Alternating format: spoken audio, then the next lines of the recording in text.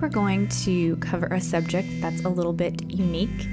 Instead of the supernatural elements that so often characterize horror, we are going to talk about some man made disasters, specifically man made disasters caused by the energy industry, both coal and nuclear. This particular episode was really inspired by HBO's recent series Chernobyl, but I'm going to be t- also talking about uh, both Silent Hill and The Hills Have Eyes, which both have energy disasters at their the core of their plot. So before we dig into those, I want to start with just just a brief history of the element of fire because all, all of these energy sources ultimately they boil down to our harnessing of fire. And on history.com, it says fire control changed the course of human evolution, allowing our ancestors to stay warm, cook food, ward off predators, and venture into harsh climates. It also had important social and behavioral implications, encouraging groups of people to gather together and stay up late. Despite the significance of kindling flames, when and where human ancestors learned how to do it remains a subject of debate and speculation. So, we're not even sure when or where or how humans discovered fire. And because of that, there's a little bit of an element of mystery around it. And so, we've always had a little bit of mystery surrounding our energy sources. Because fire ultimately has great power to both give life and destroy it. And because of that, we've always feared it just a little bit. And even in the early days of you know developing major cities, fires were a huge hazard. Um, one little fire could easily spread to entire blocks, entire cities, and destroy much of what we had built. The first major energy industry was the coal mine industry, which is still around today, but not like it used to be. And coal brought light, and warmth into our homes, much like early fire did. But of course, you know, it has its hazards. And um, people working in the mine were exposed to all kinds of chemicals that resulted in reduction in life expectancy, respiratory hospital admissions, black lung from coal dust, congestive heart failure, chronic bronchitis, and the list goes on and on just from being exposed to so many chemicals. This brings us to the first disaster that I want to talk about, and that is the Centralia, Pennsylvania fire. In 1962, a fire broke out in one of the mines in Centralia, Pennsylvania, and it was unchecked and it continued to burn. And it eventually led to the evacuation of the entire town in 1983 due to the toxic chemicals coming out of the fire.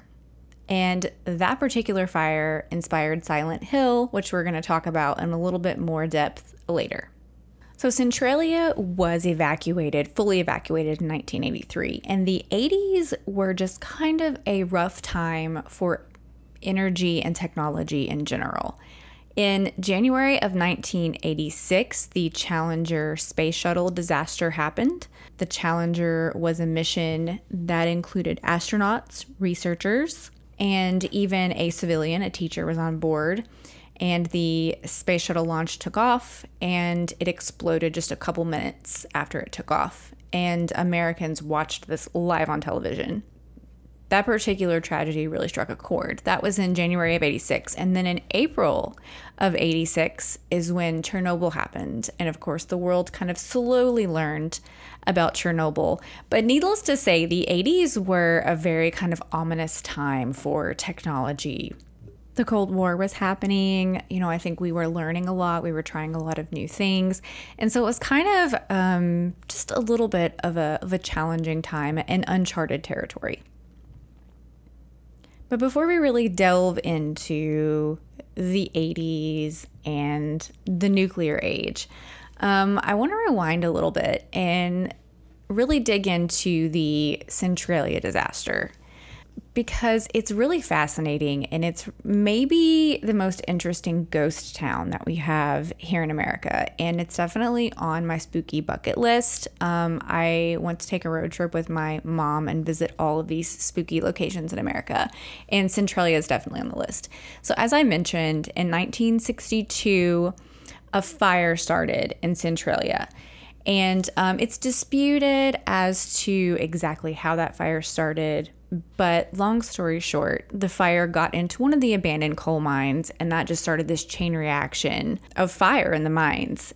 That fire burned and burned and burned, burned for a couple of decades, and in 1983, the government decided to evacuate the town. They were like, it's not safe to live here. Everybody got to get out. if you look at pictures of Centralia, it's it's pretty creepy. Like there aren't a lot of buildings left. There's one church left that's actually really beautiful, and um, it had to have inspired the church in Silent Hill because they're, they're very similar looking. But the um, this the road into town, the pavement's all cracked, and there's like steam coming up from it, and people have graffitied the road. So it's a very creepy place. And I actually was aware of Silent Hill as a property before I was aware of Centralia. So when I found out it was a real place, I was just like, wow, this is amazing. So let's dig into Silent Hill a little bit. And here's a synopsis because I've learned that I'm actually not very good at recapping things on my own. So this was pulled from IMDb. Rose and Chris's adopted daughter Sharon suffers from dangerous sleepwalking episodes, during which she often speaks about the ghost town Silent Hill. Desperate to help her child, Rose takes Sharon to Silent Hill, where she and a concerned police officer become trapped in an alternate reality of ash, monsters, and cultists. While Chris searches for his wife and daughter in the real world, Rose conducts a parallel investigation into the horrific truth of Sharon's history in Silent Hill. So we are with Rose trying to uncover the kind of mysterious past that her daughter has in Silent Hill.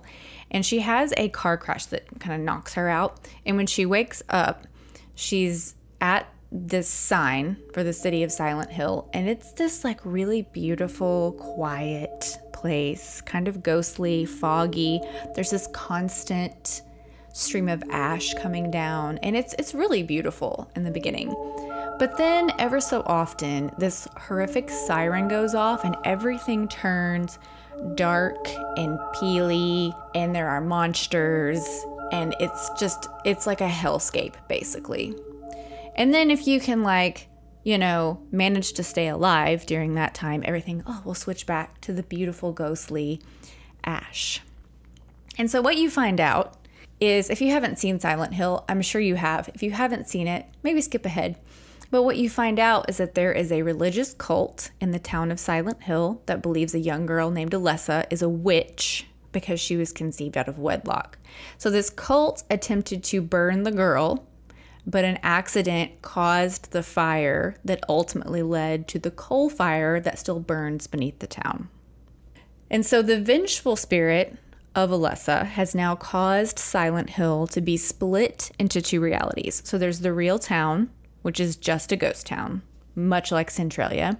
And then there is this like purgatory world that has been created for those who abused their power and attempted to sacrifice Alessa. And this purgatory world is where Rose and Sharon are. So ultimately, Rose enables Alessa to exact her revenge and bring judgment upon those who abuse their position of power and attempted to sacrifice her. And Rose and Sharon are able to escape the carnage, and it is carnage. The last scene where Alessa takes her revenge on this religious cult is really horrific. But Rose and Sharon are allowed to escape that, and they are allowed to leave Silent Hill. However, although Rose triumphs and was able to save her daughter, the horrific consequences of the cult's actions cannot be escaped entirely. So we watch them drive out of Silent Hill, but yet the ghostly fog and the ash is still falling all the way home. And the dreamlike world of Silent Hill follows them home. And so we're left to believe that their reality will never again be the same. So basically, even though they were able to set things right, the people who wielded this power and unleashed it have now changed the world forever. Does that sound familiar? so, as we discussed, coal mines have many health hazards. Um, it also takes a lot of work to harvest the coal, and it's also a finite resource. So, technology was destined to kind of evolve past that and give us other forms of energy. And nuclear energy is perhaps the most advanced of those solutions. I'm going to give you guys just a quick rundown of kind of the history of nuclear energy because I wasn't sure. I was thinking about, you know, we have the bomb, we have nuclear reactors, like what came first, what came when, how did this all shake out, how did it all develop? And so in 1932, atomic energy was discovered.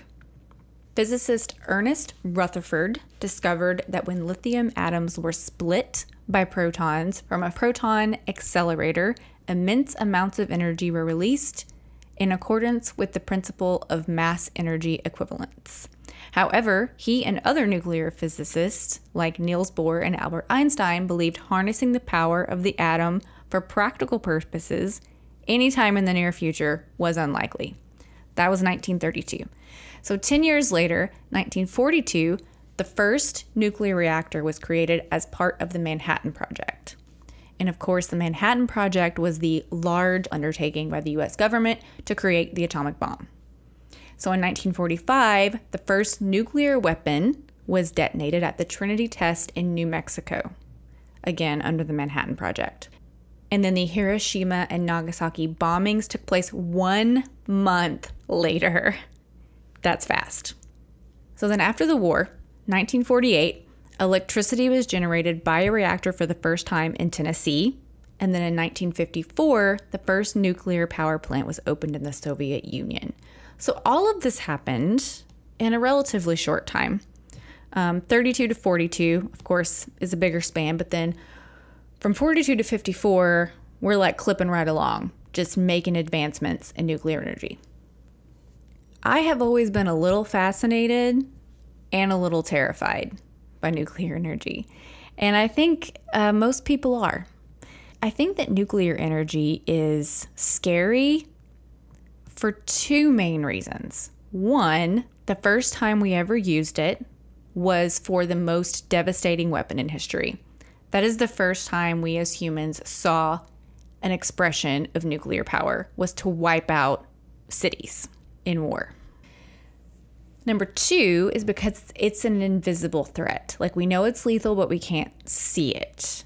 So it's kind of this, again, it goes back to that initial mystery of fire. It's this invisible ghostly thing that we know is harmful, but we we can't see it coming after us. We don't know what it's doing to us, and that makes it scary.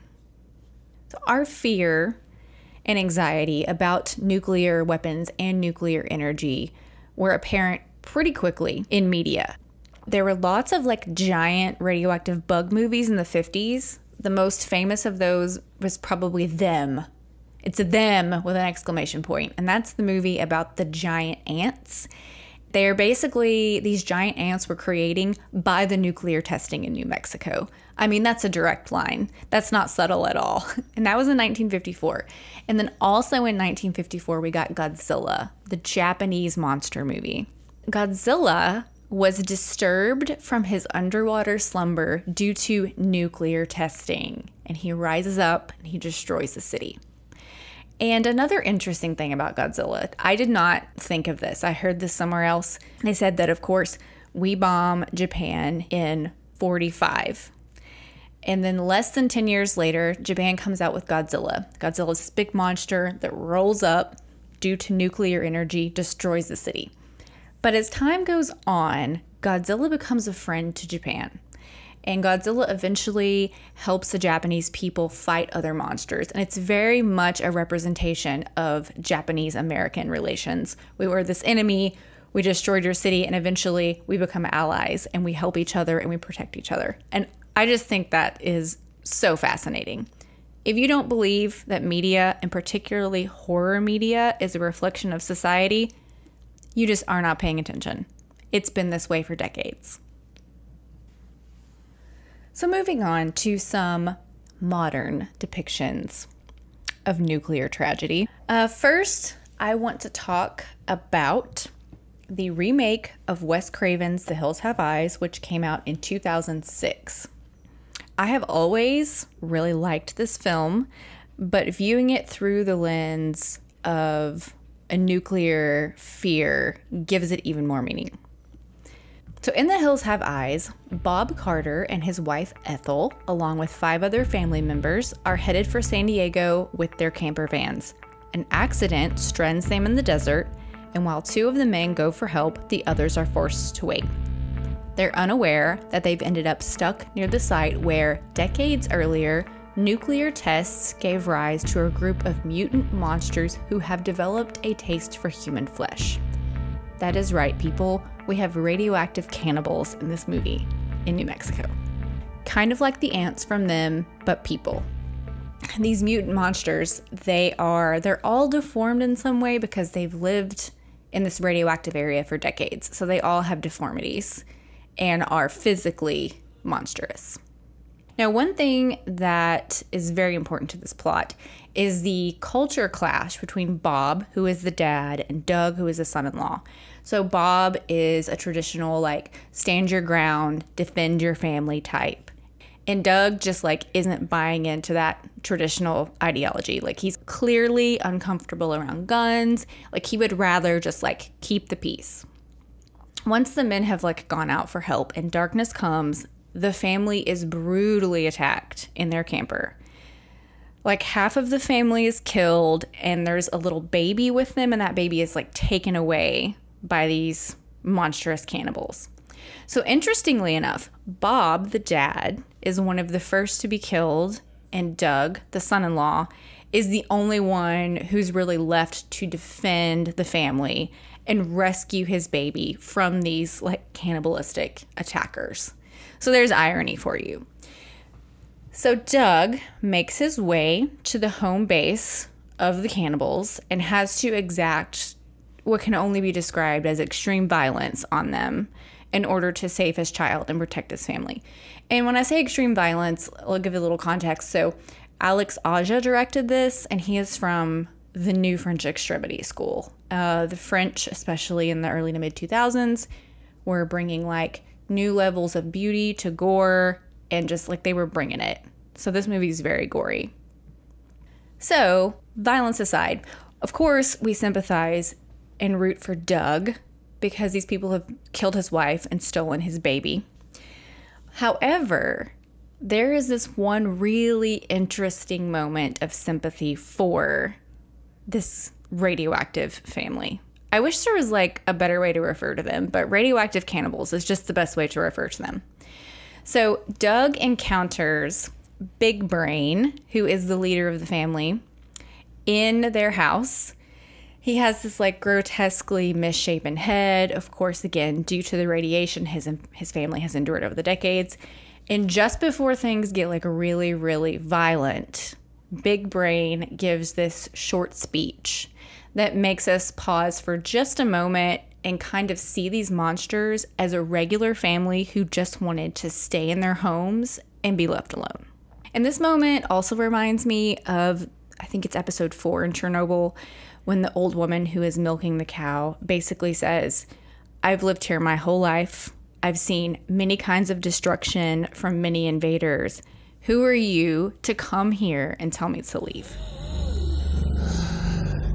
Your people asked our families to leave their town, and you destroyed our homes We went into the mines. You set off your bombs and turned everything to ashes. You made us what we've become. Boom, boom, boom. I'm sure people didn't really think about this at the time when this movie came out in 2006, and I don't know if the filmmakers intended this. I mean, Wes Craven's a really smart filmmaker. I don't know about everybody else involved in this, but I think The Hills Have Eyes is just a fantastic metaphor for the really difficult choice America had to make in dropping the bomb on Japan. Um, America didn't want to be involved in World War II. Like Doug, the son in law, would rather just keep the peace and let everybody live their life. But after we were attacked, we struck back and we struck back really hard. Like the bloody revenge exacted in The Hills Have Eyes, the morality of that choice is up for debate. Some people say it had to be done, some people say it was a great evil. And this film definitely raises questions about the lengths we will go to to defend our own people and challenges us to consider, you know, at what point do we become like the enemy? So, The Hills Have Eyes is a direct product of the early days of nuclear testing, and the violent content of the film reflects the severity of a nuclear weapon. But luckily for the whole world, after we put World War II away, we decided that nuclear energy should be and could be put to good use. So, since the 50s, nuclear energy has been used to power our cities rather than destroy our cities. Hopefully, it stays that way. And all of the threat is different, it is still terrifying. And that brings us to Chernobyl.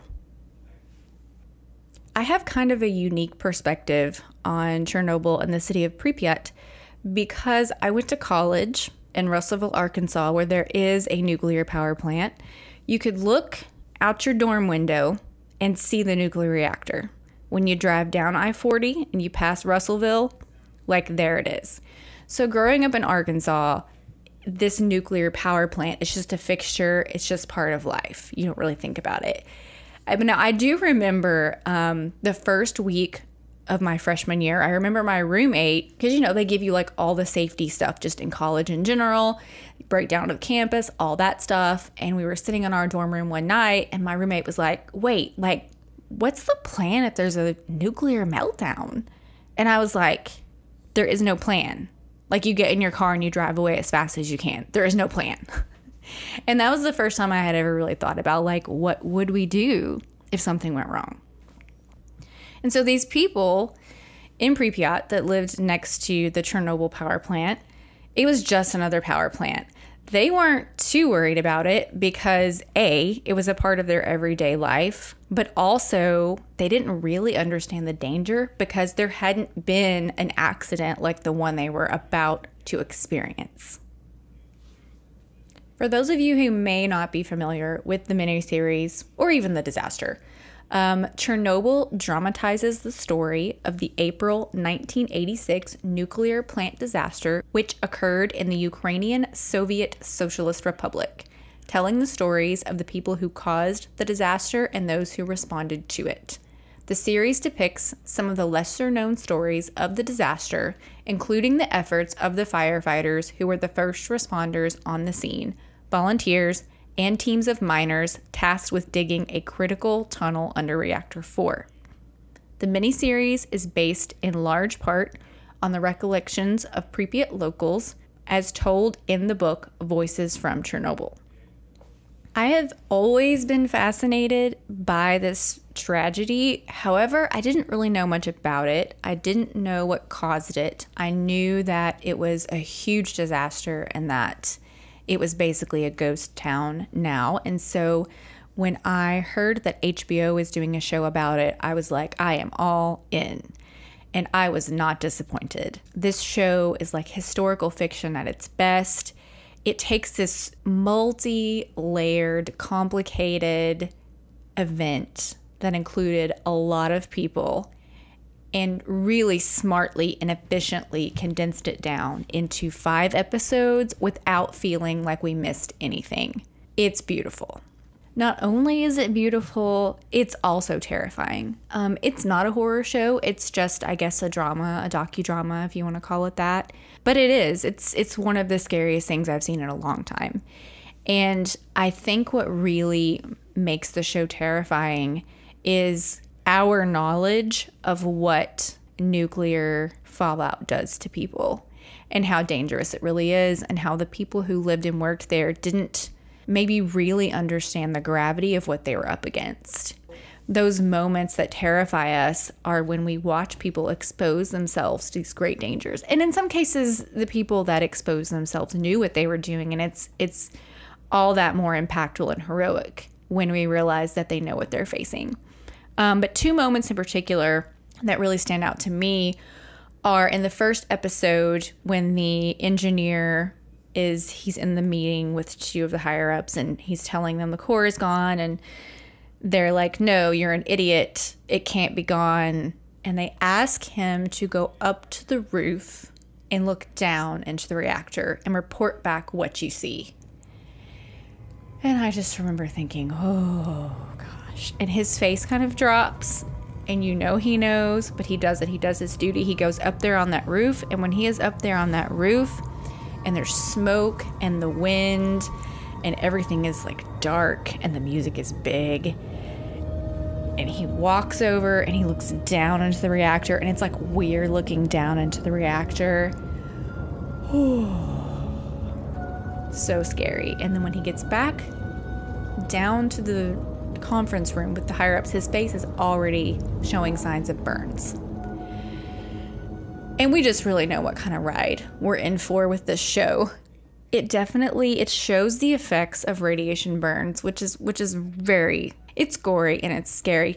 Um, but they also do this very smart thing where at one point uh, one of the scientists interviews one of the engineers and we don't get to see him and then later on she tells the main scientist that his face was gone and that's a stroke of genius we didn't need to see it you know, we didn't need to see it.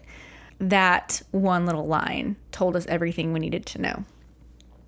And another scene in that show that I think is just really brilliant storytelling and horror is when we follow the man, uh, the roof liquidator, and we follow him on his 90 seconds again on the roof. Something about that roof just really struck a chord with me. Anytime somebody's up on that roof, I'm just like, oh, so when we follow the roof liquidator and we're watching him shovel, and again, he's shoveling over that edge and we're looking over that edge down into the reactor, and it's like, oh gosh.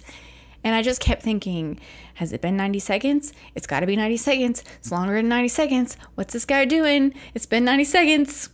Ugh. Just a brilliant little piece of storytelling. And Chernobyl is fresh, and I usually don't like to talk about fresh media because I feel like we don't we haven't had the time to sit with it and think about it and really extract the larger meaning. But Chernobyl is just such an impactful show that it can't be ignored and it's what inspired this episode in the first place. I do think that it immediately offers some things outside of the the Soviet government commentary. That's obvious in the show.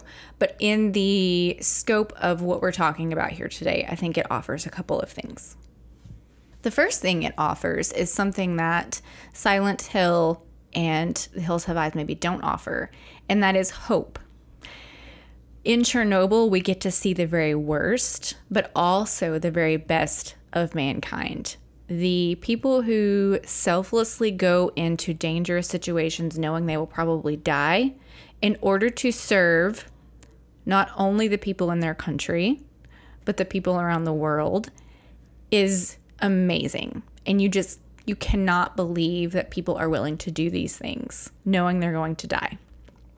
And so the whole accident happened because of the worst in humankind but the story is redeemed by the best of mankind. And so that's why I think it offers us hope. But it also offers us a warning. It reminds us that ultimately we are not in control of this power, despite all of our safeguards, and that things can go very wrong very quickly and have huge consequences, like ultimate consequences. And with those ultimate consequences, we've kind of come full circle right back to what we talked about at the beginning, which is the mystery of fire. We learned how to harness it and use it in our communities. We learned how to use it against our enemies, but we really don't understand it fully, and we certainly can't control it. control is an illusion. And if we ever forget that, there's a radioactive tomb in the Ukraine and a toxic fire in Pennsylvania to remind us. There was nothing sane about Chernobyl. What happened there, what happened after, even the good we did. All of it. All of it. Madness. If this subject intrigues you the same way it has intrigued me, there are a couple more things that you can check out. There is both a movie and a TV show about the Manhattan Project.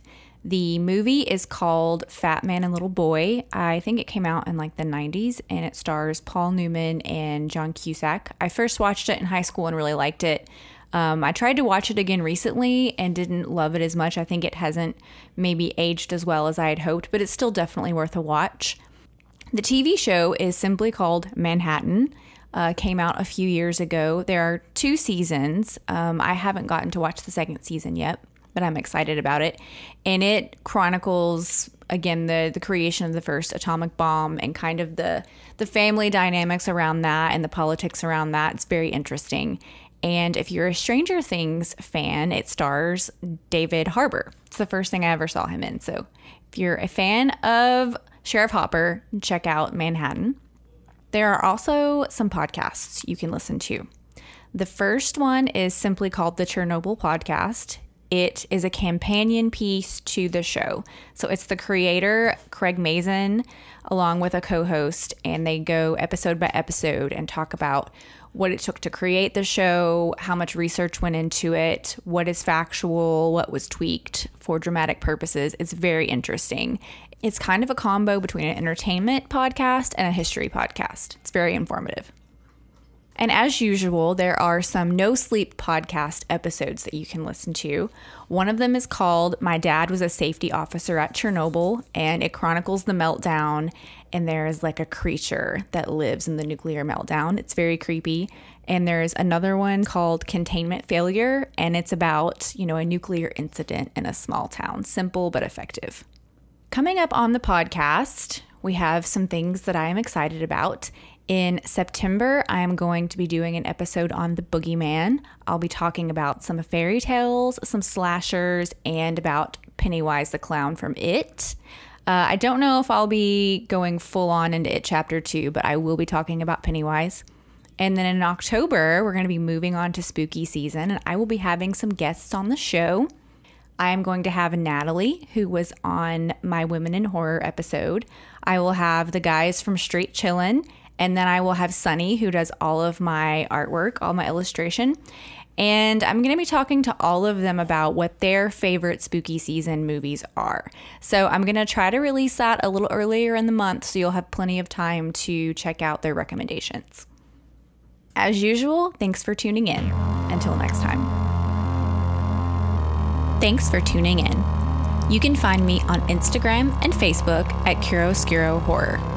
If you really love the show, you can sign up to become a supporter on Patreon for early access to all episodes and more. Finally, please rate, review, and subscribe to help other people find the show.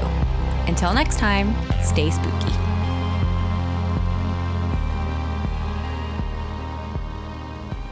This episode features special artwork by Sunny Balliette. Find out more about her work in the show notes.